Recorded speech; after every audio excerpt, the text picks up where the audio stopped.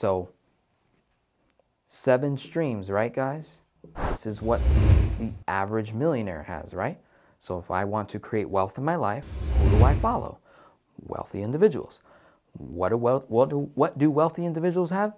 Seven streams of income on average. Now, do they go and start seven businesses all at once? No. You start one thing that creates many things. You start one thing, and then the second thing that you start should align with the first thing. Okay, so for me, Denzel, the first thing, what was it? Coaching, right? So I do the, the financial, right? The coaching. And that is activity income. People pay me, I give them back more than what they paid. They learn, they earn, they return. Okay? Second stream. I say, okay, as I'm coaching them, what is another product that I can add onto their kingdom to build the kingdom blocks, right? Build this thing up like Legos. Infinite banking, IBC. So IBC is in alignment with financial coaching. I'm preparing people to that next stage. So that is my second largest stream of income. So we got two streams. The third is creating content. So because I put out videos for free and I give for free, the king of kings has to respond. That's kingdom law, kingdom protocol, kingdom principle, keys to the kingdom, giving. So here I am creating content. After creating so many pieces of content, now the content starts to pay Denzel. So now Google from YouTube is probably paying me about a thousand bucks a month now. I remember receiving a check for about $4,000 uh, last month in July, I believe. It was July or June. Sent me a paycheck, bam, four grand. I was like, what did I do? I was like, and I didn't ask questions. I just kept moving on. I was like, oh, thank you. Four grand times that by 10%, $400, give to the king, and I'm on my merry way. Okay? The fourth stream of income, I say, okay, I'm creating the content, I'm giving. This is in alignment with the first one, which is in alignment with the second one. The second one's in alignment with the first one. You see how one creates many? That's how you build your seven streams. So the fourth largest stream of income is now Legal Shield. So Legal Shield is in alignment with me creating content in alignment with IBC because when someone puts a life insurance policy in place, who's the beneficiary? Make it the trust. How do I get a trust? Denzel, who do I go to?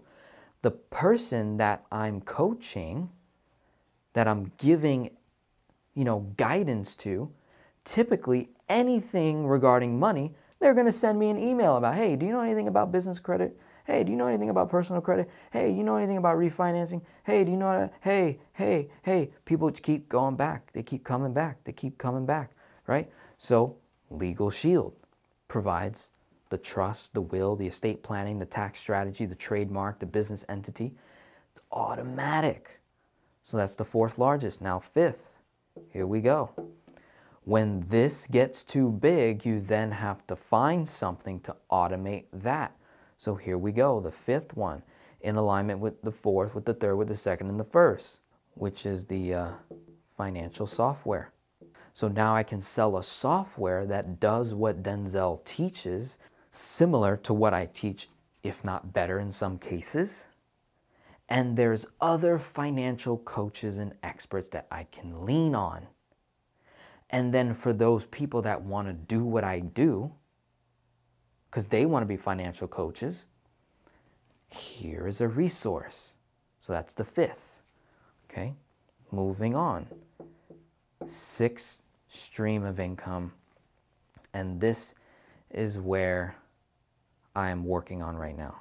So the sixth and the seventh, it's not a pressing matter right now, right? You don't want to rush yourself while you're building these seven streams. But I know for a fact that six or seven, no doubt in my mind, real estate, and then market, right? The stock market. This is where I've, I've got the HSA set up, the Roth, the, uh, the regular brokerage account, and I buy the stocks, the bonds, the mutual funds, the treasuries, the this, the that, dividend indexes, low cost index, zero cost index funds. You know, you, I learn how to trade little by little. This, this, you know, builds up over time. And then with that, you know, you buy the gold, you buy the silver, and then crypto.